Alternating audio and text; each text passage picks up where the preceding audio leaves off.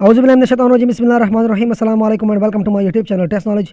दोस्तों, ministry of narcotics control Islamabad में jobs आई है। ये वीडियो इन जॉब्स की डिटेल के हवाले से है। अगर आप लोग चाहते हैं कि आप लोग को नए नए जॉब्स की एडवर्टीजमेंट आप लोग के मोबाइल स्क्रीन पर मिले तो मेरे चैनल को सब्सक्राइब करें बेल आइकन को प्रेस करें। इसके अलावा कम्पिटेटिव एग्ज़ाम्स के हवाले से तमाम सब्जेक्ट के एम मेरे चैनल का लिस्ट में मौजूद हैं तो वहाँ से आप लोग मुख्तलिफ़ कम्पिटेटिव एग्ज़ाम्स की तैयारी भी कर सकते हैं। तो दोस्तों, अभी के लिए चलते हैं इस एडवर्टीजमेंट की तरफ़ और देखते हैं कि इसमें कौन कौन सी असामियाँ हैं और इसके लिए एलिजिबिलिटी क्राइटेरिया वगैरह क्या है। और इसके लिए आप लोगों ने अप्लाई कैसे करनी है और अप्लाई करने की आखिरी तारीख कौन सी है?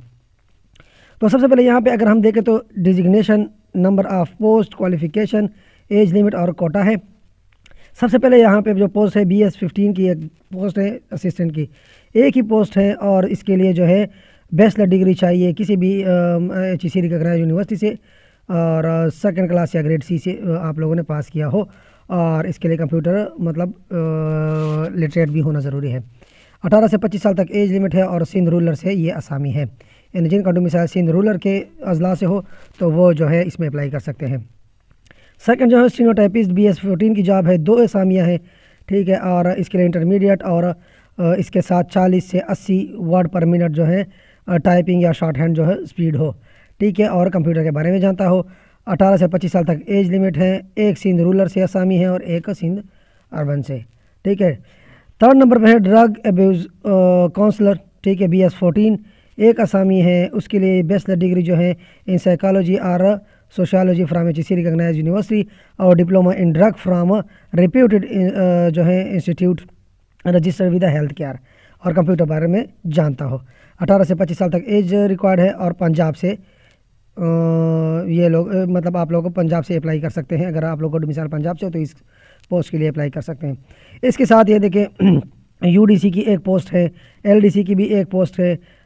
यूडीसी के लिए तो इंटरमीडिएट और थर्टी वर्ड पर मिनट जो है स्पीड चाहिए टाइपिंग और कंप्यूटर के बारे में जानता हूँ। इसके साथ अठारह से पच्चीस साल तक एज लिमिट और के पी के से ये आसामी है। एलडीसी की अगर बात करें तो मेट्रिकुलेशन और इसके साथ थर्टी वर्ड पर मिनट और कंप्यूटर के बारे में जानता हूँ। अठारह से पच्चीस साल तक एज और सिंध सिंध रूरल और डिसेबल कोटा ये ये जो सीट है, यानी L D C lower division clerk की जो पोस्ट है, वो डिसेबल जो है लोगों के लिए ख़ास है। यानी इसके लिए डिसेबल लोग जो है अप्लाई कर सकते हैं और वही इस पर सेलेक्ट होंगे। इसके अलावा ड्राइवर और नायब कासिद की, इसमें पोस्ट है ड्राइवर की पाँच असामियाँ हैं और नायब कासिद की दो। ठीक है, बाकी ये मेट्रिकुलेशन ड्राइवर के लिए और एल टी वी लाइसेंस जो है ड्राइविंग लाइसेंस हो, और इसके अलावा प्राइमरी पास हो, ठीक है, और रीडिंग और राइटिंग लिखना जानता हो, पढ़ना लिखना जानता हो, और इसके अलावा 18 से 25 साल तक एज दोनों के लिए रिक्वायर्ड है, और ये जो है पाँच पोस्टों की जो है, वो मुकम्मल डिटेल और ये लोकल बेस पे होगा, नायब कासिद जो दो असामी है। अच्छा अब अगर बात करें कि यार इसके लिए अप्लाई करना मतलब आप लोगों ने अप्लाई कब तक करनी है तो आप लोगों ने इसके लिए अप्लाई करनी है जी। अट्ठाईस फरवरी तक आप लोगों ने इसमें अप्लाई करनी है, अट्ठाईस फरवरी तक। तो अट्ठाईस फरवरी से पहले पहले आप लोगों ने इसके लिए जो है अप्लाई कर लेनी है। ठीक है, इसके अलावा बाकी जो अपॉइंटमेंट होंगे वो बता रहे कि रूल्स और पॉलिसी फेडरल गवर्नमेंट के हिसाब से होगी। ठीक है जनरल एज रिलैक्सेशन जो होगा वो दिया जाएगा। ठीक है हैज़ पर एक्साइटिंग रूल्स ठीक है, इसके अलावा और एज जो होगा वो जो है क्लोजिंग डेट के बाद जो मतलब क्लोजिंग डेट तक जो है वो कैलकुलेट किया जाएगा। ठीक है, उसके हिसाब से। ठीक है eligible candidates will be determine on the basis of his her academic qualification ठीक है?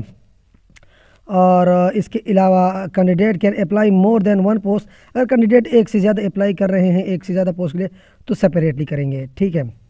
अच्छा और सिर्फ़ शॉर्टलिस्ट कैंडिडेट को जो है वो इंटरव्यू या टेस्ट की कॉल दी जाएगी। ठीक है? अच्छा candidate shall present original documents along with the rest of attested copy of all the relevant documents at the time of interview यानी अटेस्टेड फ़ोटो कापीज़ के साथ साथ आप लोगों ने ओरिजिनल डॉक्यूमेंट्स इंटरव्यू के टाइम पे लेके जानी है। ठीक है? जो भी पहले से मतलब किसी भी इदारे में जॉब कर रहे गवर्नमेंट इदारे में, वो जो है अप्लाई करेंगे प्रॉपर थ्रू चैनल और पुराने जो इदारे से आप लोगों ने वो भी लेके आनी है।